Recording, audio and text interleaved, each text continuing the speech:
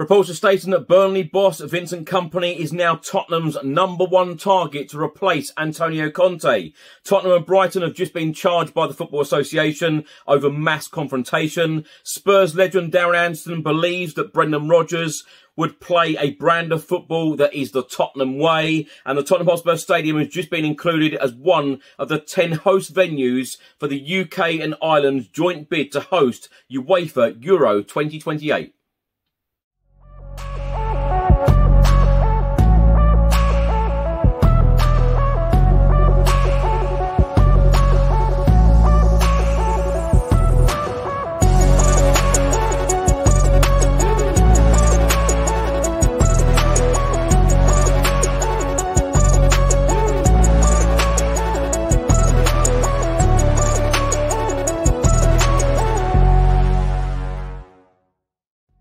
Welcome back to the channel. Hope you're all keeping well. This is another episode of Tottenham News where I'll be going through all of the latest Spurs news, rumours and reports. If you're watching this on YouTube, please do hit that subscribe button, like, share and comment below. And if you're listening to this on an audio platform, please do hit that follow button and leave a review if you can. Let's start with a report from the Sun newspaper. They are stating that Vincent Kompany is now Tottenham's number one target to replace Antonio Conte. Chairman Daniel Levy has been blown away by the Belgium 37 leading Burnley back to the Premier League in his first season. In this report, it says that Spurs Chiefs have received glowing reports after a stunning season saw the Clarets promoted in record time, and Vincent Kompany is increasingly seen as the manager who can give the club a new dimension. Spurs have watched how Arteta has transformed bitter rivals Arsenal into Premier League title contenders, having spent three years working as Pep Guardiola's number two at Manchester City. Vincent Kompany spent the same amount of time as captain under Guardiola before becoming Anderlecht manager in 2019. Vincent Kompany won two of his four Premier League crowns with Pep Guardiola, who has tipped him as a future Etihad boss. Spurs are also considering Julian Nagelsmann, Luis Enrique, Brendan Rodgers, Arne Slot, and their former chief, Mauricio Pochettino. It then states in this report, but crucially for Daniel Levy, Vincent Kompany made Burnley the Championship's most entertaining side after putting almost a whole new squad together and Kompany is believed to be ready to listen if Spurs make a move as he fears that Burnley may not have the funds to tackle the Premier League. Daniel Levy wants to get a new boss lined up quickly with Harry Kane's future again in doubt and the club facing a battle to finish in the top four.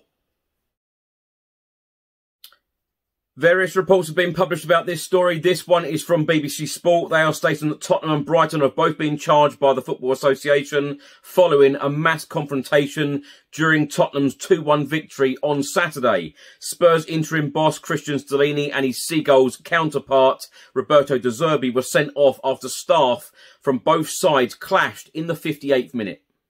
The Football Association said both clubs failed to ensure technical area occupants conducted themselves in an orderly fashion. Spurs and Brighton have until Monday the 17th of April to respond to the charge.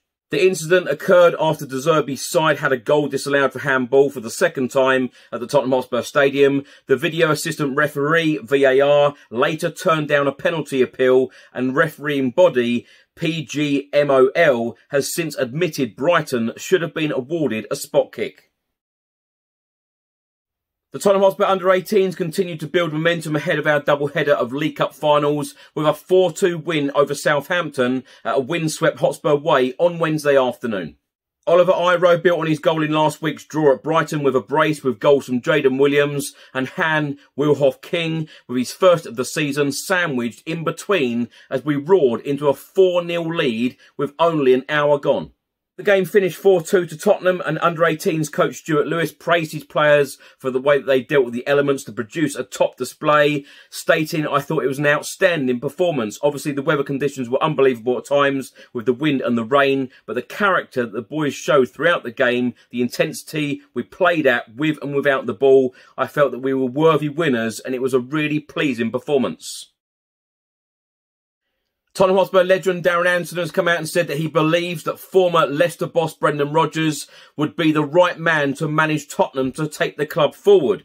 He said, I like Brendan Rodgers when he's given top, top players. I mean, what he did at Liverpool, he was so unlucky not to win the Premier League there. Anderton then went on to say he plays a brand of football that Tottenham fans want to see. I think it's fair to say, since Mauricio Pochettino with Jose Mourinho and Antonio Conte, the football has been dire at times. We've got some wonderful footballers, but two very defensive managers that have certainly made for some very dull afternoons at White Hart Lane. So I think that comes into it. Anderton then added, I feel like he plays a brand of football that is the Tottenham way, and I think it would work. On Wednesday afternoon, it was announced by Tottenham Hotspur Football Club that the Tottenham Hotspur Stadium has been included as one of the 10 host venues for the UK and Ireland's joint bid to host UEFA Euro 2028.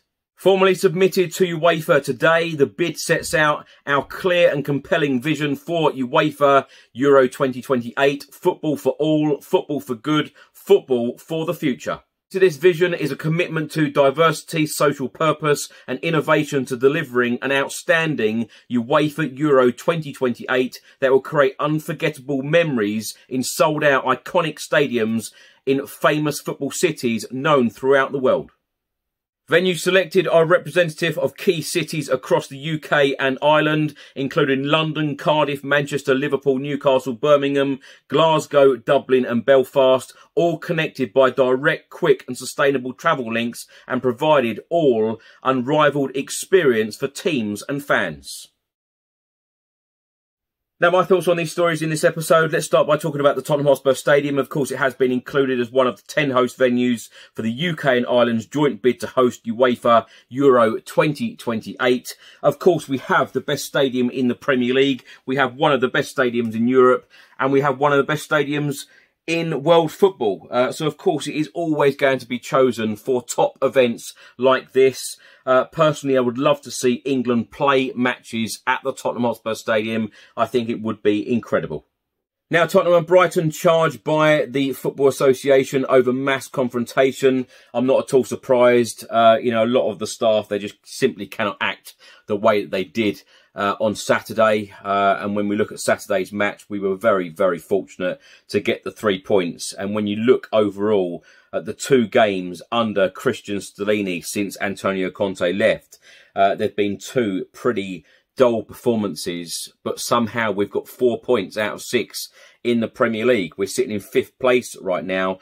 Uh, we've got a game against Bournemouth coming up on Saturday, another must win game if we want any chance of getting a Champions League spot. I think that it's going to be very, very difficult to try and get a Champions League spot uh, at the end of this season. But of course, we do have to give absolutely everything.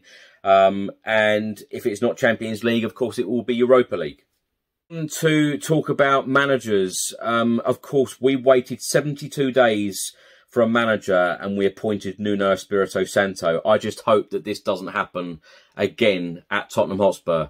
Um, in the last week or so, we got an announcement stating that Scott Munn has joined the club as football uh, chief football officer. And I learned in the last 24, 48 hours that Scott Munn will actually be starting his job on the 1st of July. I think that when Tottenham Hotspur put out the announcement, I think that a lot of people assumed that he would be starting the job straight away, but he's actually on gardening leave and he's actually starting the job at Spurs on the 1st of July. So my question at the moment with Fabio Paratici not working at the club um, and Scott Munn not starting the job until the 1st of July, who is in charge of the managerial appointment. It must be at the moment Daniel Levy. Uh, so many reports are coming out at the moment linking us to every single manager um, under the sun. Uh, and of course, when I revert back again to Saturday's game uh, against Brighton, when Stellini was given the red card and he was walking down the tunnel, uh, most of the stadium was singing Mauricio Pochettino's name. I think that the majority of the fan base want Mauricio Pochettino back. I know there are a lot of fans that don't want him back, but I think the majority of fans do want him back. Uh, but today we're being linked with Vincent Kompany. Um, I've seen many reports still linking us to Julian Nagelsmann, uh, stating that he is still top of Tottenham's list, but uh, the likely outcome there is that he will probably go to Chelsea. He's already been talking to Chelsea, as uh, has um, Luis Enrique as well. Um, and of course, Spurs legend Darren Anderton has come out and said that Brendan Rodgers would be a good fit at Tottenham. Um, personally, I'm hoping that we do now go for a young manager, an upcoming manager, go for a project. You know, these last couple of managers that we've had, um, Jose Mourinho and Antonio Conte. We've brought in win now managers. It hasn't worked because these win now managers want everything. Um, and rightly so. You know, they're, they're used to winning, they're used to demanding, they're used to um, getting the best out of players and they are used to having top quality players. And if you're not going to give them everything that they want, then it's never going to work. Um, and it clearly hasn't worked under Jose Mourinho and Antonio Conte, managers that have won every single place they have gone, apart from Tottenham Hotspur. Um, personally, um, you know, when Antonio Conte left and we had 10 Premier League games left, of course, we've got eight Premier League games left now. Um, personally, for me, I would have thought um, the best choice would have to have gone for um, somebody that the fans know like Pochettino, like Harry Redknapp, you know, someone that the fans can really get behind because I feel that, you know, if we lose a game or two under Cristian Stellini, I don't think that the mood uh, will be very good at all amongst the fan base. Um, the fan base is very mixed at the moment um, about the direction of the club, the ambition of the club. I think we're all questioning the ambition of the club. Um, we have to do things differently to what we have done in the past. Um, as I've said on this channel many, many times, I feel that the board have got so many decisions wrong um, in recent times. Sacking Pochettino, I think that uh, that was wrong at the time. I, I, feel that we should have backed him. Um, sacking Jose Mourinho six days before a final, um, that was wrong in my opinion. Uh, waiting 72 days for a manager and then bringing in Nuno Espirito Santo, that was a really poor decision. Um, and of course, it hasn't worked out for Antonio Conte either. So this next decision is absolutely huge. Um, being linked with the likes of Vincent Kompany, I think he is a great up and coming manager. He's done wonders at Burnley. Is he the right man? I'm not so sure.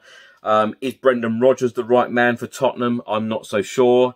Um, you know, Nagelsmann, um, you know, you've got, we're being linked to the Feyenoord manager at the moment, Arne Slot.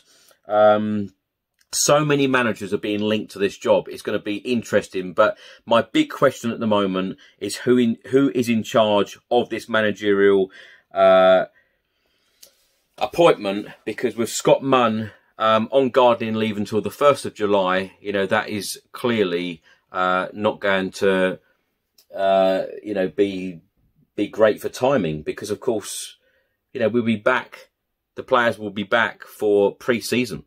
Um, so it, interesting times ahead.